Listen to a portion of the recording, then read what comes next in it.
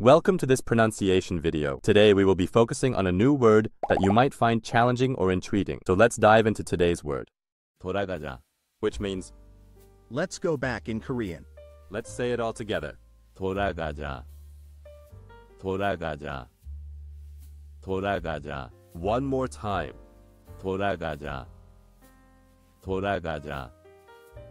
돌아가자. Thank you for joining us on this adventure in pronunciation. Remember, language is a journey, not a destination. Keep exploring, experimenting, and expanding your linguistic horizons. We'll see you next time.